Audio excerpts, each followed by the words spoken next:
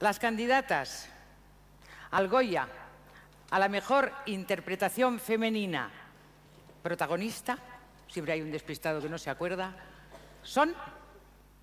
Asumirlo. Mi madre es lesbiana, mi madre es lesbiana. Leonor Wadlin por A mi madre le gustan las mujeres. Una ley muy severa contra las mujeres que miran como Andrea. Ana Fernández por Historia de un beso. Qué suerte la canguro de ti, ¿no? He estado contigo en el banco y yo en 10 años ni una visita. ¿Eh? Adriana Ozores por La vida de nadie.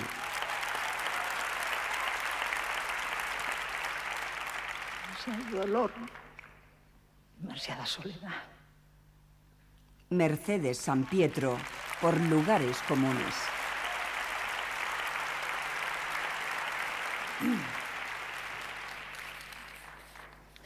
Y el Goya es para... A ver si quedo ecuánime. No se me nota nada.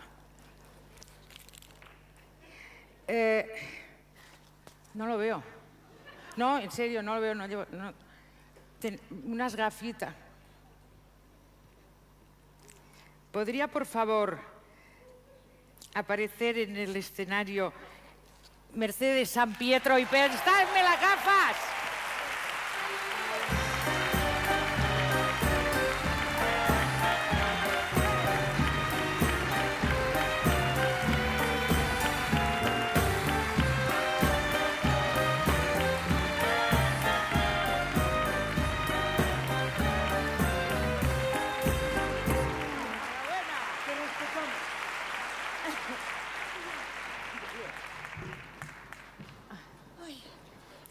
Eh, mm, ay, muchísimas gracias a, a- todos vosotros, a mis compañeros de, de la academia. Eh, es un, un auténtico orgullo compartir candidatura con Adriana, con Ana, con Leonor. Sois maravillosas y os admiro muchísimo. Un beso muy fuerte.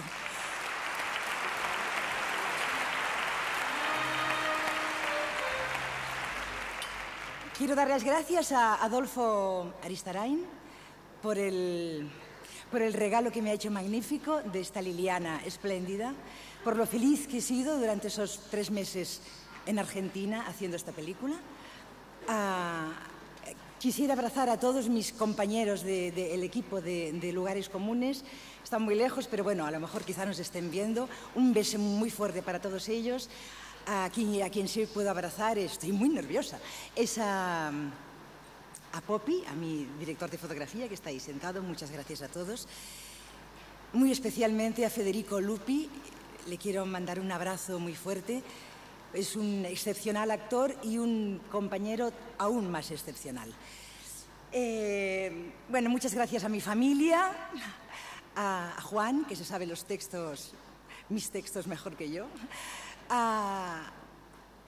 Dedico muy especialmente este Goya a mi hijo Emily. Y creo que no me dejo nada. Muchas gracias a- al productor, a Gerardo Herrero. Bueno, y quiero aprovechar este momento, no lo quiero dejar pasar, para, que no nos, para pedir que no nos olvidemos del pueblo argentino y de todos aquellos pueblos que están sufriendo el martirio y la ignominia por culpa de la indecencia política. No a la guerra. Gracias.